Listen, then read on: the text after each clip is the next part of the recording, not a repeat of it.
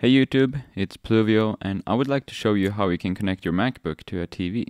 So the first thing you're gonna need is a MacBook with an HDMI port.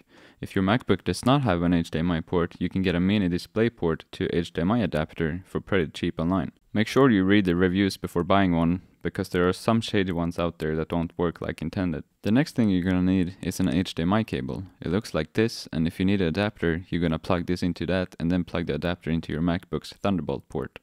My MacBook has an HDMI port though, so I can plug it straight into the computer. When that is done, you're ready to plug it into the TV. My Samsung TV has all the inputs in a box on the outside, but most older TVs have the inputs on the TV itself. Just make sure you have an HDMI input on your TV and plug it in.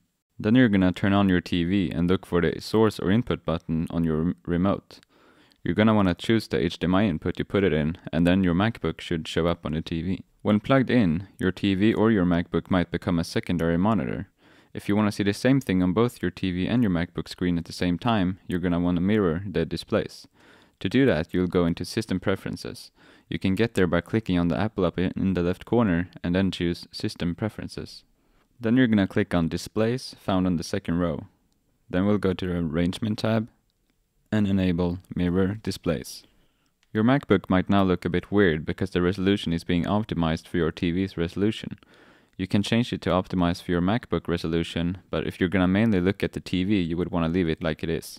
You can also make your MacBook or the TV the main display by moving the white header on the graphic. Just hold it in and move it over to whatever screen you want to use as the main display.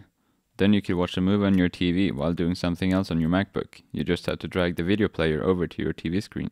So that is how you connect your MacBook to the TV through HDMI. If you have any questions about this, please leave a comment, like and subscribe, and I will see you later.